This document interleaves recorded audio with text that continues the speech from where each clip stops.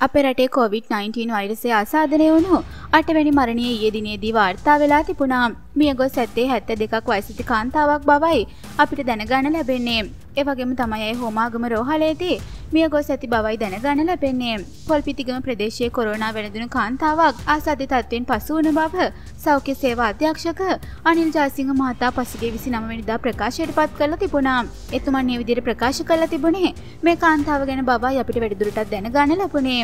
ඒ වගේම තමයි පසුගිය 28 වෙනිදා කොරෝනා වැළඳුණු බවට හඳුනාගත් ඇයව කුරුණෑගල පොල්පිතිගම ප්‍රදේශයේ පදිංචිකාරියක් බව කියවෙනවා.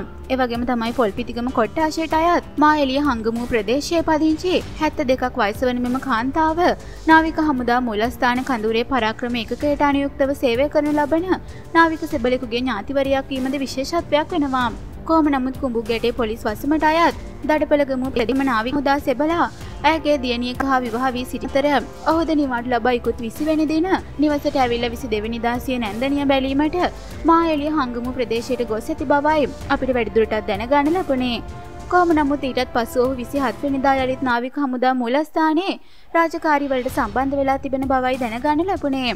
කොහම නමුත් ඔහුගෙන් මෙම කාන්තාවට කොරෝනා වෛරසේ වැළඳෙනට ඇතයි අනුමාන කරත් එක් පරීක්ෂණයක් ධනාත්මක වෙලා තිබුණත් හෝමාගම රෝහලේදී කරන ලද දෙවන පරීක්ෂණය රිනාත්මක වෙලා තිබෙනවා කෙසේ වෙතත් ඊළඟ පරීක්ෂණය ධනාත්මක වීම නිසා මේ කොරෝනා මරණයක් විදියට සලකන්න පුළුවන් ඒවගේම තමයි මේ මාරාන්තික වෛරසය ආසාධනය වෙලා මියගේ පළමු ශ්‍රී ලංකික කාන්තාව ඇය වෙන බවයි මේ වෙනකොට තොරතුරු අනාවරණය වෙලා තිබෙන්නේ.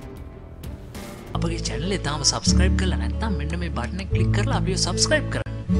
ඒවගේ මෙන්න මේ බෙල් බට්න ඇක්ටව් කළොත් අපේ චැනලට එකතුන්න නවතම් වීඩියෝ ගැන ඔබට එසනින් දැනගැනීම හැකයාව ලැබෙනවා.